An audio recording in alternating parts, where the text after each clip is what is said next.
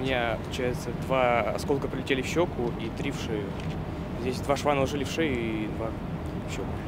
Девятикласснику выбраться из обвалившегося дома помогли уроки ОБЖ. Вспомнил правило – дверь завалена, выход в окне. Благо курсы подготовки к экзаменам были на первом этаже. Под завалами остались вещи, но забрать их пока не получится. Идет активная фаза работ.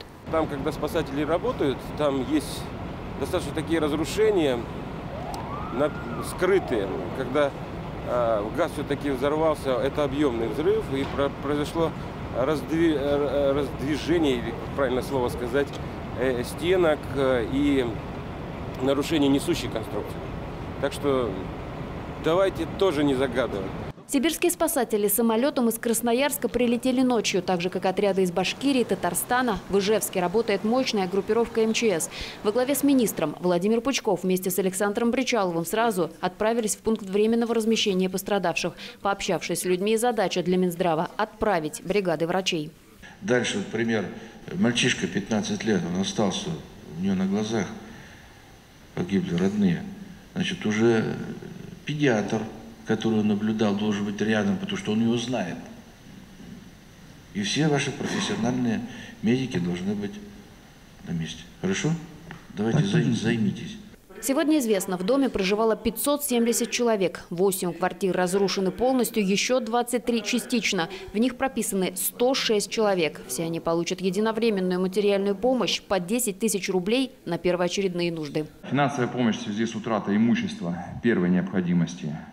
За частично утраченное имущество 50 тысяч рублей на человека, за полностью утраченное имущество 100 тысяч рублей на человека. Единовременное пособие гражданам, получившим в результате чрезвычайной ситуации вред здоровью с учетом степени тяжести вреда здоровью из расчета степени тяжести вреда, а, тяжкий вред или вред средней тяжести 400 тысяч рублей на человека, легкий вред 200 тысяч Со всеми вопросами люди идут в пункты временного размещения. Одних расселяют в санатории и гостиницы, Горожане все спрашивают, детям-то что-то нести надо или у вас все есть там? Ну, если домой пускают, значит, ну, у нас не пострадало, нам, в принципе, не надо.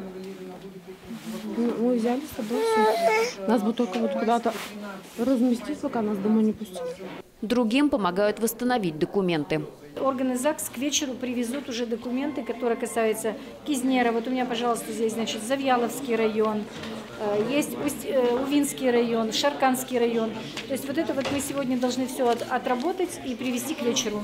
Если потребуется оформление пенсии по инвалидности, по потере кормильца, э, здесь я сейчас про- просто проконсультирую, дам консультацию. Все записали, адреса дали, телефоны дали, куда идти, сказали. Выплаты на первоочередные нужды выдают тут же. Если паспорт утерян, то делают э, миграция документы, и по документам они приходят и получают.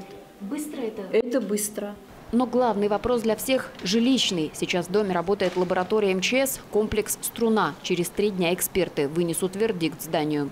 Он определит состояние основных несущих конструкций, а специалисты МЧС России подготовят официальное заключение о состоянии всех подъездов каждой квартиры этого жилого дома. Причем к этой работе мы привлекаем и специалистов республики Удмуртия, и всех жителей этого дома, чтобы каждый имел достоверную информацию и принимал участие в оценке состояния несущих конструкций всех систем жизнеобеспечения непосредственно в своем доме, в своем подъезде.